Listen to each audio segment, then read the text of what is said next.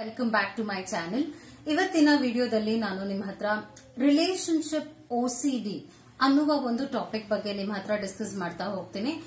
ಇದರಲ್ಲಿ ಏನೇನೆಲ್ಲ ಪ್ರಾಬ್ಲಮ್ಸ್ ಆಗುತ್ತೆ, ನೀವು ಈ ಒಂದು ಡಿಸಾರ್ಡರ್ ಅಂತ ಹೇಳ್ಬೋದು, ಅಕಸ್ಮಾತ್ ಎಲ್ಲಾ ತರ ಚಿಹ್ನೆಗಳು ನೀವು ನಾನು ಇಲ್ಲಿ ಡಿಸ್ಕಸ್ ಮಾಡ್ತೀನಲ್ಲ, ಅದು ನಿಮ್ಮಲ್ಲಿ ಇದೆ ಅಂದ್ರೆ, ಹಾಗೆ ನೀವು ನಿಮ್ ಪಾರ್ಟ್ನರ್ ಹತ್ರ ವರ್ತಿಸ್ತೀರಾ ವರ್ತಿಸ್ತಾ ಇದ್ದೀರಾ on a regular basis daily ಈ ರೀತಿಗೆ ನೀವು ಅವ್ರಿಗೆ ಆ ರೆಸ್ಪಾನ್ಸ್ ಕೊಡ್ತಿರಬಹುದು ಹಾಗೂ ನೀವು ನಿಮ್ಮ ನಡುವಳಿಕೆ ಅವ್ರಿಗೆ ಕಿರಿಕಿರಿ ಉಂಟು ಮಾಡ್ತಾ ಇರ್ಬೋದು. ಫೈನಲ್ ಆಗಿ ಡಿಸಾರ್ಡರ್ ಯಾವಾಗ ಆಗುತ್ತೆ ಅಂದ್ರೆ ನಾನು ಹೇಳುವ ಎಲ್ಲಾ ಚಿಹ್ನೆಗಳು ನಿಮ್ಮ ರಿಲೇಶನ್ಶಿಪ್ನಲ್ಲಿ ಇದೆ ಪ್ರೆಸೆಂಟ್ ರಿಲೇಶನ್ಶಿಪ್ನಲ್ಲಿ ಆ ರೀತಿಯಾಗಿ ವರ್ತಿಸ್ತಿದ್ದೀರಾ ಅಂದ್ರೆ ಇಟ್ ಬಿಕಮ್ಸ್ ಅ ಡಿಸಾರ್ಡರ್ ಆದ್ರೆ ಇಲ್ಲಿ ಒಂದೊಂದ್ಸಲ ಚಿಹ್ನೆಗಳು, ಕೆಲವು ಚಿಹ್ನೆಗಳು ಹೇಳ್ತೀನಲ್ಲ.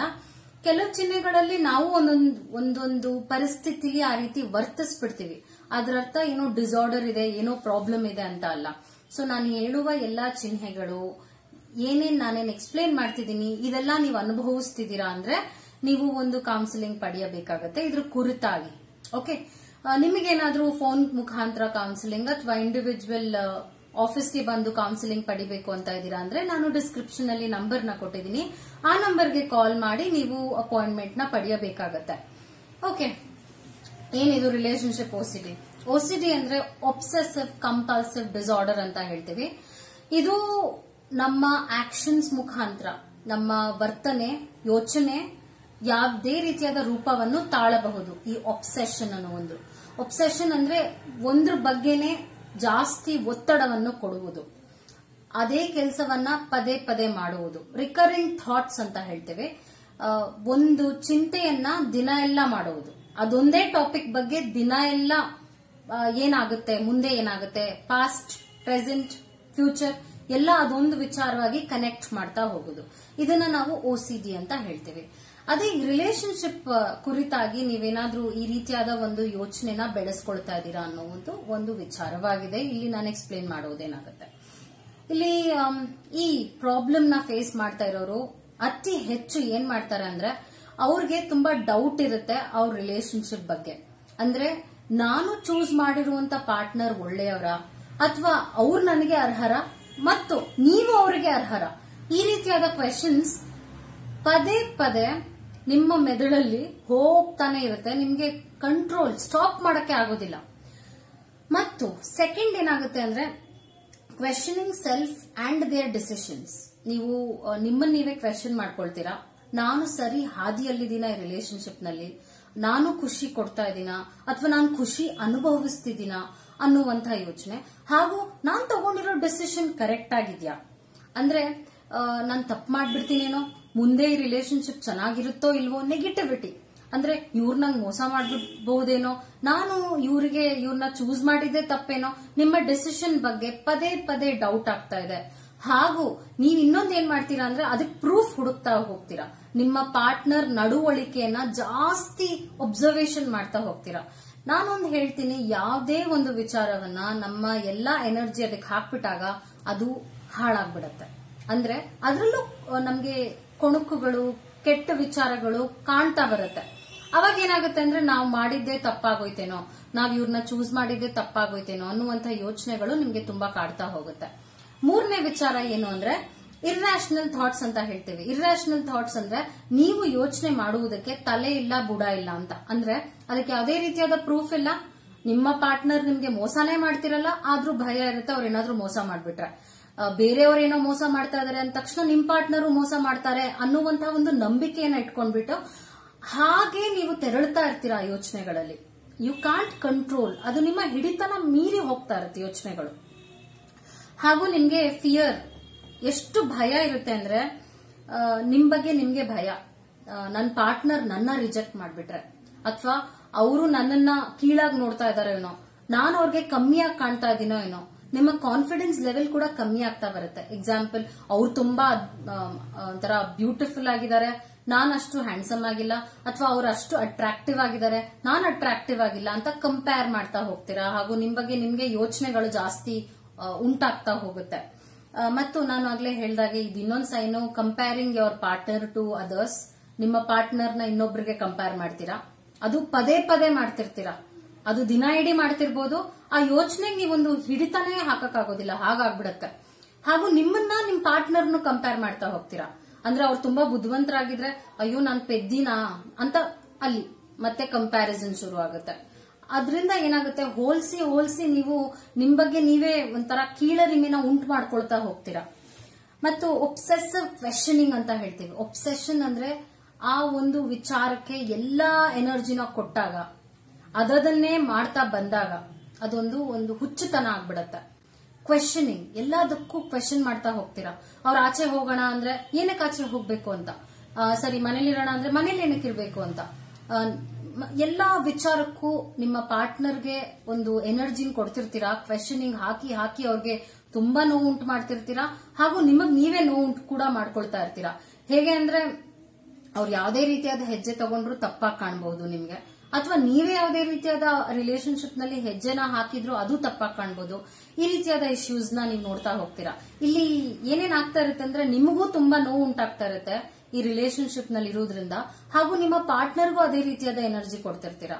ಇಲ್ಲಿ ನೀವು ಖುಷಿಯಾಗಿರಲ್ಲ ಮತ್ತು ನಿಮ್ಮ ಪಾರ್ಟ್ನರ್ ಕೂಡ ಖುಷಿಯಾಗಿರುವುದಿಲ್ಲ. ಮತ್ತು ಇನ್ನೊಂದೇನ್ ಮಾಡ್ತೀರಾ ಅಂದ್ರೆ ಹೆಲ್ದಿ ರಿಲೇಶನ್ಶಿಪ್ ಅಂದ್ರೆ ಏನು? ಒಳ್ಳೆ ರಿಲೇಶನ್ಶಿಪ್ ಹೇಗಿರ್ಬೇಕು ಅಂತ ನೀವು ವಿಡಿಯೋಸ್ ನೋಡ್ತಿರ್ತೀರಾ? ಯೂಟ್ಯೂಬ್ ಅಲ್ಲಿ ವಿಡಿಯೋಸ್ ನೋಡ್ತಿರ್ಬೋದು ಬ್ಲಾಗ್ಸ್ ಓದ್ತಾ ಇರ್ತೀರಾ ಆರ್ಟಿಕಲ್ಸ್ ಓದ್ತಾ ಇರ್ತೀರಾ? ರಿಲೇಶನ್ಶಿಪ್ ಹೇಗೆಲ್ಲ ಇರಬೇಕು? ಯಾವ ಯಾವ ರೀತಿಯಾಗಿ ವರ್ತಿಸಬೇಕು ಅಂತ ತುಂಬಾ ಓದ್ತಾ ಇರ್ತೀರಾ? ಅದ್ರ ಬಗ್ಗೆ ಇನ್ಫಾರ್ಮೇಶನ್ ತುಂಬಾ ನೀವು ಹುಡುಕ್ತಾ ಇರ್ತೀರಾ.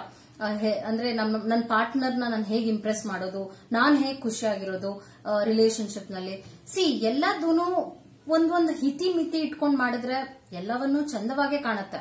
ಆದ್ರೆ ನಾವು ಆ ಆ ಒಂದು ಬ್ಯಾಲೆನ್ಸ್ನ ಮುರಿದು ಬಿಟ್ಟಾಗ ಎಲ್ಲ ಇಂಬ್ಯಾಲೆನ್ಸ್ ಆಗ್ಬಿಡುತ್ತೆ ಅಂತ ಹೇಳ್ತೇನೆ. ಮತ್ತು ಪ್ರೀತಿ ಒಂದು ಹುಚ್ಚಾಗ್ಬಿಡತ್ತೆ ರಿಲೇಶನ್ಶಿಪ್ನಲ್ಲಿ. ಒಂದು ಒಂದು ಹಂತವನ್ನ ಮೀರ್ಬಿಟ್ಟಾಗ ಅದು ಒಂದ್ ರೀತಿಯಾಗಿ ಒಬ್ಬೊಬ್ಬರಿಗೆ ಕಿರಿಕಿರಿ ಆಗುತ್ತೆ. ಇನ್ನೊಬ್ಬ ಪಾರ್ಟ್ನರ್ಗೆ ನೀವು ನೆಗೆಟಿವ್ ಎನರ್ಜಿನ ಕೊಡ್ತಾ ಇರ್ತೀರಾ. ಅವ್ರಿಗೆ ಇಷ್ಟನೇ ಆಗೋದಿಲ್ಲ ಅನ್ನೋ ರೀತಿಯಾಗಿ ನೀವು ವರ್ತಿಸಕ್ ಹೋಗ್ತಾ ಇರ್ತೀರಾ. ಮತ್ತು looking for perfection in relationship ಅಂತ ಹೇಳ್ತೀವಿ. ನೀವು ಇನ್ನೊಂದ್ ಏನ್ ಮಾಡ್ತೀರಾ ತಪ್ಪಂದ್ರೆ ಪರ್ಫೆಕ್ಟ್ ಆಗಿರ್ಬೇಕು ರಿಲೇಶನ್ಶಿಪ್ ಸುಳ್ಳೇ ಹೇಳಬಾರ್ದು ನನ್ನ ಪಾರ್ಟ್ನರ್ ನಾನು ಸುಳ್ಳೇ ಹೇಳಬಾರ್ದು. ಮತ್ತು ಇದೇ ರೀತಿಯಾಗಿ ವರ್ತಿಸ್ಬೇಕು. ಹೆಂಡತಿ ಅಂದ್ರೆ ಹೀಗೆ ಇರಬೇಕು, ಗಂಡ ಅಂದ್ರೆ ಹೀಗೆ ಇರಬೇಕು. ನಾನು ಹಾಗೆ ವರ್ತಿಸ್ತಾ ಹೋಗ್ಬೇಕು. ನಾನು ಯಾವುದೇ ರೀತಿಯಾದ ಕೆಟ್ಟ ಯೋಚನೆನೂ ಮಾಡಬಾರ್ದು ಅಂತೀರಾ? ಕೆಟ್ಟ ಯೋಚನೆನ ಮತ್ತೆ ಮತ್ತೆ ಮತ್ತೆ ಮಾಡ್ತಾ ಹೋಗ್ತೀರಾ? ಸೊ ಇದೇನಾಗುತ್ತೆ ಅಂದ್ರೆ ನಿಮ್ಗೆ ತರೋದು ತುಂಬಾ ಕಷ್ಟ ಆಗುತ್ತೆ. ಯಾವಾಗ ನೀವು ಈ ಪ್ರಾಬ್ಲಮ್ ಇದೆ ಅಂತ ಅರ್ಥ ಮಾಡ್ಕೊಳ್ಳಿಲ್ಲ ಅಂದ್ರೆ. ಹಾಗೂ ನಿಮ್ಮಲ್ಲೇ ಏನೋ ಇಶ್ಯೂ ಇದೆ ಅಂತ ಯೋಚನೆ ಮಾಡ್ತೀರಾ? ಮತ್ತು ನನ್ನಲ್ಲೂ ಇಶ್ಯೂ ಇದೆ ನನ್ನ ಪಾರ್ಟ್ನರ್ ಅಲ್ಲೂ ಇಶ್ಯೂ ಇದೆ ಅಂತ ನೆಕ್ಸ್ಟ್ ಅದೊಂದು ಹಂತ ಆಗೋಗುತ್ತೆ. ನೆಕ್ಸ್ಟ್ ಏನಾಗುತ್ತೆ ಅಂದ್ರೆ ಕ್ರಿಯೇಟಿಂಗ್ ರೂಲ್ಸ್ ತುಂಬಾ ರೂಲ್ಸ್ನ ಕ್ರಿಯೇಟ್ ಮಾಡ್ಬಿಡ್ತೀರಾ ನಿಮ್ ರಿಲೇಶನ್ಶಿಪ್ನಲ್ಲಿ. ಹೀಗೆ ನಡ್ಕೋಬೇಕು, ಹೀಗೆ ವರ್ತಿಸ್ಬೇಕು, ಈ ರೀತಿಯಾಗಿ ಮಾತಾಡಬೇಕು. ತುಂಬಾ ಸೆನ್ಸಿಟಿವ್ ಪದೇ ಪದೇ ನೀವು ದಿನದಲ್ಲಿ ಈ ತರ ಯೋಚನೆ ಮಾಡಿ ಮಾಡಿ ಸೆನ್ಸಿಟಿವ್ ಆಗ್ಬಿಟ್ಟಿರ್ತೀರಾ. ಇಮೋಷನಲಿ ವೀಕ್ ಆಗ್ಬಿಟ್ಟಿರ್ತೀರಾ. ಅವ್ರು ಒಂದು ಮಾತು ಹೇಳಿದ್ರೆ ನಿಮ್ಗೆ ಅದನ್ನ ತಗೊಳಕ್ ಆಗೋದಿಲ್ಲ ನನ್ಗೆ ತುಂಬಾ ನೋವಾಯ್ತು ನೀನ್ ಮಾತಾಡಿದ್ದು ಅಂತ. ಅದ್ರ ಬಗ್ಗೆ ಪದೇ ಪದೇ ನಿಮ್ ಪಾರ್ಟ್ನರ್ಗೆ ಹೇಳ್ತಾ ಇರ್ತೀರಾ. ಹಾಗೂ ಒಂದು ವಿಚಾರ ಎಕ್ಸಾಂಪಲ್ ನಾನೊಂದು ಕೊಟ್ಬಿಡ್ತೀನಿ. ನಿಮ್ ಪಾರ್ಟ್ನರ್ ಏನಾದ್ರೂ ನನ್ಗೊಂದು ಪಾಸ್ಟ್ ರಿಲೇಶನ್ಶಿಪ್ ಇತ್ತು ಅಂದ್ರೆ ನೀವು ಅದ್ರ ಬಗ್ಗೆ ಒಂದು ಒಬ್ಸೆಷನ್ ಥಾಟ್ನ ಹಾಕ್ಬಿಡ್ತೀರಾ? ಏನಂದ್ರೆ, ಓ ನನ್ನ ಪಾರ್ಟ್ನರ್ ಹೇಗೆಲ್ಲ ಇದ್ರೋ ಆ ಪಾಸ್ಟ್ ಪಾರ್ಟ್ನರ್ ಜೊತೆ? ಮುಂದೆ ನನ್ನ ಜೊತೆ ಹೇಗಿರ್ತಾರೋ? ನಾನ್ ಮುಟ್ಟಿದಾಗ ಅವ್ರೇನಾದ್ರೂ ಆ, ರೀತಿಯಾಗಿ ನನ್ನನ್ನ ಸ್ವೀಕರಿಸ್ತಾರೋ ಇಲ್ವೋ ನನ್ನನ್ನ ಪರಿಪೂರ್ಣವಾಗಿ ನನ್ನ ಪಾರ್ಟ್ನರ್ ಸ್ವೀಕರಿಸಿದಾರ ಅಥವಾ ಪಾಸ್ಟ್ ರಿಲೇಶನ್ಶಿಪ್ನಲ್ಲಿ ಇದಾರ ಇನ್ನ ಅಫೇರ್ ಇಟ್ಕೊಂಡ್ ಬಿಡ್ತಾರೇನೋ ಇದೆಲ್ಲ ಒಬ್ಸೆಷನ್ ಇದೆಲ್ಲ ಹುಚ್ಚು ಯೋಚನೆಗಳು. ಇದಕ್ಕೆ ಯಾವುದೇ ರೀತಿಯಾದ ಪ್ರೂಫ್ ಇಲ್ಲ ನಿಮ್ಗೆ. ನಿಮ್ ಪಾರ್ಟ್ನರ್ ಕೂಡ ಹಾಗೆ ವರ್ತಿಸ್ತಾನೆ ಇರಲ್ಲ ನಿಮ್ ಪಾರ್ಟ್ನರ್ ಹೇಳ್ತಿರ್ತಾರೆ ಪಾಸ್ಟ್ ನನ್ನ ಪಾಸ್ಟ್ ಜೊತೆ ಇಲ್ಲ ರಿಲೇಶನ್ಶಿಪ್ನಲ್ಲಿ ಇಲ್ಲ ಅದಕ್ಕೆ ನಾನು ನಿಮ್ ಜೊತೆ ಇರೋದು ಅಂತ ಅವ್ರು ವಿವರಣೆ ಕೊಟ್ರು ನಿಮ್ಗೆ ವಿವರಿಸಿ ಬಿಡಿಸಿ ಕರೆಕ್ಟ್ ಆಗಿ ಎಕ್ಸ್ಪ್ಲೇನ್ ಮಾಡ್ತಾ ಇದ್ರು ಕೂಡ ನೀವು ಅದನ್ನ ತಗೊಳಕ್ ರೆಡಿಗಿರಲ್ಲ ಸೊ ಇಲ್ಲೇನಾಗುತ್ತೆ ಅಂದ್ರೆ ನೀವು ಅವ್ರಿಗೂ ಹಿಂಸೆ ಕೊಡ್ತಾ ಇದ್ದೀರಾ, ನೀವು ಹಿಂಸೆ ನಮ್ ಅನುಭವಿಸ್ತಿದ್ದೀರಾ. ಈ ರಿಲೇಶನ್ಶಿಪ್ ಖಂಡಿತವಾಗ್ಲೂ ಹೀಗೆ ನೀವು ವರ್ತಿಸ್ತಾ ಹೋದ್ರೆ ಅದು ಒಂದು ಒಳ್ಳೆಯ ಒಂದು ಬೇಸ್ ಅಂತ ಹೇಳ್ತೀವಿ. ಅದನ್ನ ಪಡೆಯೋದೇ ಇಲ್ಲ ಫೌಂಡೇಶನ್ ಸರಿಯಾಗಿ ಇರೋದಿಲ್ಲ. ಹಾಗೂ ಮುಂದೆ ನೀವು ಅವ್ರ ಜೊತೆ ಮದ್ವೆ ಆಗೋದು ಅಥವಾ ಸಂಸಾರ ಮಾಡೋದು ಮಕ್ಕಳಾಗೋದೆಲ್ಲ ನೀವೇ ಯೋಚನೆ ಮಾಡಿ ಎಷ್ಟೆಲ್ಲ ಪ್ರಾಬ್ಲಮ್ಸ್ ಕ್ರಿಟಿಕಲ್ ಆಗ್ಬಿಡುತ್ತೆ ಅಂತ ಹೇಳ್ತಾ ಇದ್ದೀನಿ. ಮತ್ತು ಇನ್ನೊಂದು ಮಿಸ್ಕನ್ಸೆಪ್ಷನ್ಸ್ ಏನ್ ಇಟ್ಕೊಂಡಿರ್ತಾರೆ ಅಂದ್ರೆ ಈ ತರ ಒಬ್ಸೆಷನ್ ಥಾಟ್ಸ್ ಇರುವಂತವ್ರು ಯಾವುದೇ ರಿಲೇಶನ್ಶಿಪ್ ಆಗಲಿ ಹಂಡ್ರೆಡ್ ಪರ್ಸೆಂಟ್ ಇರಬೇಕು ಅಂತ. ಆದ್ರೆ ಹಂಡ್ರೆಡ್ ಪರ್ಸೆಂಟ್ ಅನ್ನೋದು ಸಾಧ್ಯನೇ ಇಲ್ಲ. ಹಂಡ್ರೆಡ್ ಪರ್ಸೆಂಟ್ ಆಗಿ ಯಾರು ಇರೋಕ್ ಸಾಧ್ಯ ಇಲ್ಲ. ಹಾಗೆ ಈ ಯೋಚನೆ ಮಾಡೋದೇ ಇಂತಹ ವ್ಯಕ್ತಿಗಳು. ಏನೇ ಆಗಿರ್ಲಿ ಪರ್ಫೆಕ್ಟ್ ಆಗಿರ್ಬೇಕು. ಏನೇ ಮಾಡ್ಲಿ, ನಾನು ಬೆಸ್ಟ್ ಆಗಿ ಕೊಡ್ಬೇಕು. ಅವರು ನನಗೆ ಬೆಸ್ಟ್ ಆಗಿ ಕೊಡ್ಬೇಕು. ನಾನು ಬೆಸ್ಟ್ ಆಗಿ ಕೊಟ್ಟಾಗ ಅವರು ಬೆಸ್ಟ್ ಆಗಿ ಕೊಡ್ಬೇಕು. ನಾನು ಲಾಯಲ್ ಆಗಿದ್ದಾಗ ಅವರು ಲಾಯಲ್ ಆಗಿರ್ಬೇಕು. ನಾನು ಮೋಸನೇ ಮಾಡಲ್ಲ, ಅವರು ಮೋಸ ಮಾಡಬಾರ್ದು. ಈ ತರ ಒಂದು ಹಂಡ್ರೆಡ್ ಪರ್ಸೆಂಟ್ ಥಾಟ್ಸ್ ಅಲ್ಲಿ ಇರ್ತೀರಾ. ಅದು ರಿಲೇಶನ್ಶಿಪ್ ಶುರು ಆಗುವಾಗ್ಲೆ. ಏನಾಗುತ್ತೆ ಅಂದ್ರೆ ರಿಲೇಶನ್ಶಿಪ್ ಯಾವುದೇ ಹೊಸದಾಗಿ ನೀವು ಶುರು ಮಾಡಿದಾಗ ಏಳು ಬೀಳು ಇರುತ್ತೆ. ಮತ್ತೆ ಹೆಚ್ಚು ಕಮ್ಮಿ ಇರುತ್ತೆ. ನೀವೊಂದ್ ಕಡೆ ಅಡ್ಜಸ್ಟ್ ಮಾಡ್ಕೋಬೇಕಾಗುತ್ತೆ. ಅವ್ರೊಂದ್ ಕಡೆ ಅಡ್ಜಸ್ಟ್ ಮಾಡ್ಕೊಡ್ಬೇಕು ಮಾಡ್ಕೋಬೇಕಾಗುತ್ತೆ. ಒಂದೊಂದ್ಸಲ ಅವ್ರು ಸುಳ್ಳು ಹೇಳ್ಬಿಡ್ಬೋದು. ನೀವೊಂದೊಂದ್ಸಲ ಸುಳ್ಳು ಹೇಳ್ಬಿಡ್ಬೋದು. ಇದೇ ಹೇಳಿದ್ದು ಎಲ್ಲಾ ರೀತಿಯಾದ ಸಾರವನ್ನು ಬೆರ್ತಿರುತ್ತೆ ಒಂದು ರಿಲೇಶನ್ಶಿಪ್ ಆದ್ರೆ ಇದನ್ನ ನೀವು ಅರ್ಥ ಮಾಡ್ಕೊಳಕ್ ರೆಡಿ ಇರುವುದಿಲ್ಲ ಸೊ ಇದೆಲ್ಲ ಇಶ್ಯೂಸ್ ಆಗ್ತಾ ಬರುತ್ತೆ ಮುಂದೆ. ನೆಕ್ಸ್ಟ್ ಏನಾಗುತ್ತೆ ಅಂದ್ರೆ both should have all good qualities ಅಂದ್ರೆ ನನ್ನ ಹತ್ರನೂ ಒಳ್ಳೆ ಕ್ವಾಲಿಟೀಸ್ ಇರಬೇಕು ಅವ್ರ ಹತ್ರನೂ ಒಳ್ಳೆ ಕ್ವಾಲಿಟೀಸ್ ಇರಬೇಕು. ಅದು ಹೇಗ್ ಸಾಧ್ಯ? ನಿಮ್ಮ ಹತ್ರನೂ ಕೆಟ್ಟ ಕ್ವಾಲಿಟೀಸ್ ಇರುತ್ತೆ ಕೆಲವು, ಹಾಗೂ ಅವರಲ್ಲೂ ಕೆಟ್ಟ ಕ್ವಾಲಿಟೀಸ್ ಇರುತ್ತೆ ಕೆಲವು. ಆದ್ರೆ ನೀವೇನ್ ಮಾಡ್ಬಿಡ್ತೀರಾ? ಒಂದ್ ತಪ್ಪು ಮಾಡ್ಬಿಟ್ರೆ ನಿಮ್ ಪಾರ್ಟ್ನರ್ ನೀವ್ ಒಂದ್ ತಪ್ಪು ಮಾಡ್ಬಿಟ್ರೆ ಅದ್ರ ಬಗ್ಗೆನೆ ಪದೇ ಪದೇ ಹಿಂಸೆ ಕೊಟ್ಕೊಂಡು ಹೋಗ್ತಾ ಇರ್ತೀರಾ ನಿಮ್ಮ ಮನಸ್ಸಿನಲ್ಲಿ ಯೋಚನೆಗಳನ್ನ ಹಾಕಿ.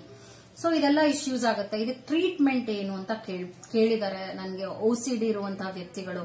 ಅದು ರಿಲೇಶನ್ಶಿಪ್ನಲ್ಲಿ ಇಂತಹ ಯೋಚನೆಗಳು ಬಂದ್ಬಿಟ್ರೆ ರಿಕರಿಂಗ್ ಥಾಟ್ಸ್ ಬಂದ್ಬಿಟ್ರೆ ಪದೇ ಪದೇ ಕೆಟ್ಟ ಕೆಟ್ಟ ಆಲೋಚನೆಗಳು ಬಂದ್ಬಿಟ್ರೆ, ನನ್ನ ಹೆಂಡತಿ ಬೇರೆ ಅವನ ಜೊತೆ ಇದ್ದಾನೇನೋ ಅಥವಾ ನನ್ನ ಗಂಡ ಬೇರೆ ಅಫೇರ್ ಇಟ್ಕೊಂಡಿದ್ದಾನೇನೋ ಅನುಮಾನ ತುಂಬಾನೇ ಜಡ್ಜ್ ಮಾಡ್ತಾ ಹೋಗ್ತೀರಾ ನಿಮ್ ಪಾರ್ಟ್ನರ್ನ ಇದನ್ನ ಅತಿಯಾಗಿ, ಅದಕ್ಕೆ ಯಾವುದೇ ರೀತಿಯಾದ ಪ್ರೂಫು ಇರಲ್ಲ. ಅಲ್ಲ ಈಗ ಒಂದೊಂದು ನಿಜವಾಗ್ಲೂ ಮೋಸ ಮಾಡ್ತಿರ್ತಾರೆ ಪಾರ್ಟ್ನರ್ಸ್ ಅಂದ್ರೆ ಅವರು ಅಫೇರ್ಸ್ ಇಟ್ಕೊಂಡಿರ್ತಾರೆ, ಹಾಗೂ ಅವ್ರು ಸುಳ್ಳು ತುಂಬಾ ಹೇಳ್ತಿರ್ತಾರೆ. ಇದೆಲ್ಲ ಪ್ರಾಕ್ಟಿಕಲಿ ನಡೀತಿರುತ್ತೆ. ಆದ್ರೆ ನಿಮ್ಮ ನಿಮ್ಮ ವಿಚಾರದಲ್ಲಿ ಅದೆಲ್ಲ ಯಾವುದೇ ರೀತಿಯಾದ ಒಂದು ನೀವು ಏನ್ ಅನ್ಕೊಂತಾ ಇದ್ದೀರಾ, ಅದಕ್ಕೆ ಸತ್ಯ ಇರೋದಿಲ್ಲ, ಸತ್ಯ ಬೆರ್ತಿರಲ್ಲ ನೀವು ಅನ್ಕೊಳ್ಳುವಂತ ಯೋಚನೆಗೆ ಸೊ ಇದನ್ನೇ ನಾನು ಹೇಳೋದು ನಿಮ್ಮ ಯೋಚನೆ ನಿಮಗೆ ಒಂದು ಶತ್ರು ಆಗ್ಬಿಡತ್ತೆ ಮುಂದೆ ಹೋಗ್ತಾ ಇದ್ರೆ.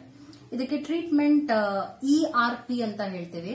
ಇ ಆರ್ ಪಿ ಅಂದ್ರೆ ಎಕ್ಸ್ಪೋಜರ್ ರೆಸ್ಪಾನ್ಸ್ ಪ್ರಿವೆನ್ಷನ್ ಮತ್ತೆ ಹೇಳ್ತಾ ಇದ್ದೀನಿ ಇ ಆರ್ ಪಿ ಅಂತ ಒಂದು ಟ್ರೀಟ್ಮೆಂಟ್ ಇದೆ ಎಕ್ಸ್ಪೋಜರ್ ರೆಸ್ಪಾನ್ಸ್ ಪ್ರಿವೆನ್ಷನ್ ಥೆರಪಿ ಅಂತ.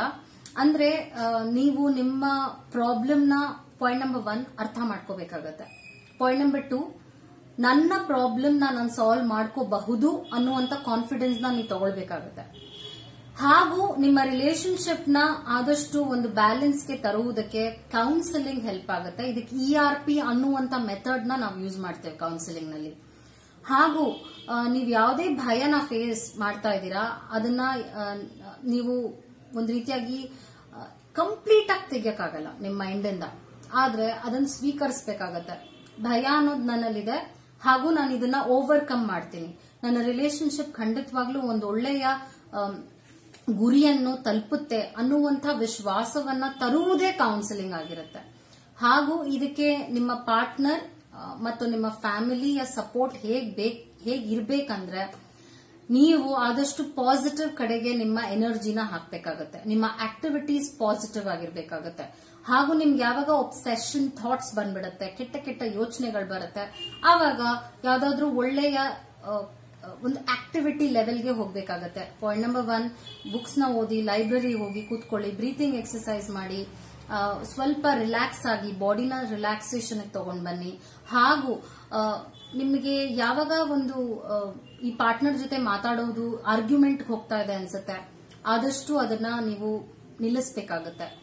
ಮತ್ತು ಚಾಟ್ ಮಾಡೋದು, ಕಾಲ್ ಮಾಡೋದು, ಅತಿಯಾಗಿ ಮಾಡದೇ ಇರೋದು ಒಳ್ಳೆಯದು. ಯಾಕೆಂದ್ರೆ ಯಾವಾಗ ಒಂದು ರಿಲೇಶನ್ಶಿಪ್ ಹಾಳಾಗ್ತಾ ಇದೆ ಅಂದಾಗ ನಾವು ಸ್ವಲ್ಪ ಕಮ್ಯುನಿಕೇಶನ್ ಸ್ವಲ್ಪ ಇತಿ ಮಿತಿಲಿ ಇಟ್ಕೊಳ್ಬೇಕಾಗತ್ತೆ. ಅತಿಯಾಗಿ ಕಮ್ಯುನಿಕೇಶನ್ ಮಾಡ್ಬಿಟ್ರೆ ಅವ್ರಿಗೂ ಹರ್ಟ್ ಮಾಡುವಂತ ಚಾನ್ಸಸ್ ಇರುತ್ತೆ.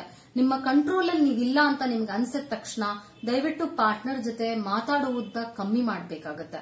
ಯಾಕೆಂದ್ರೆ ಅವ್ರು ನಿಮ್ ಪ್ರಾಬ್ಲಮ್ನ ಅರ್ಥ ಮಾಡ್ಕೋಬಹುದು ನೀವು ನಿಮ್ ಪ್ರಾಬ್ಲಮ್ನ ಅರ್ಥ ಮಾಡ್ಕೋಬಹುದು ಆದ್ರೆ ನೀವು ಪದೇ ಪದೇ ಅವ್ರನ್ನ ಹರ್ಟ್ ಮಾಡ್ತಾ ಇದ್ರೆ ಅವ್ರು ನಿಮ್ ಜೊತೆ ಇರೋಕ್ ಹೇಗ್ ಸಾಧ್ಯ? ಅದರಿಂದ ನಿಮ್ಗೆ ಯಾವಾಗ ಕಾಂಪ್ಲಿಕೇಟ್ ಆಗ್ತಾ ಇದೆ, ನಾನು ತುಂಬಾ ಮಾತಾಡ್ತಾ ಇದ್ದೀನಿ ನೆಗೆಟಿವ್ ಆಗಿ ಮಾತಾಡ್ತಾ ಇದ್ದೀನಿ ನನ್ನ ಪಾರ್ಟ್ನರ್ ಜೊತೆ ಅಂದ ತಕ್ಷಣ ಸ್ವಲ್ಪ ನೀಡ್ತೀನಿ ಕೌನ್ಸಿಲಿಂಗ್ ವಿತ್ ಯೋರ್ ಪಾರ್ಟ್ನರ್ ನಿಮ್ಮ ಪಾರ್ಟ್ನರ್ ಜೊತೆ ಒಂದು ಕೌನ್ಸಿಲಿಂಗ್ನ ನೀವು ಪಡೆಯಬೇಕಾಗತ್ತೆ. ಹಾಗೂ ಕಾಗ್ನೇಟಿವ್ ಬಿಹೇವಿಯರ್ ಥೆರಪಿ ಅಂತ ಹೇಳ್ತೀವಿ. ಇದನ್ನು ಕೂಡ ಕೌನ್ಸಿಲಿಂಗ್ನಲ್ಲಿ ನಾವು ಬಳಸುವಂತಹ ಒಂದು ಮೆಥಡ್ ಆಗಿದೆ.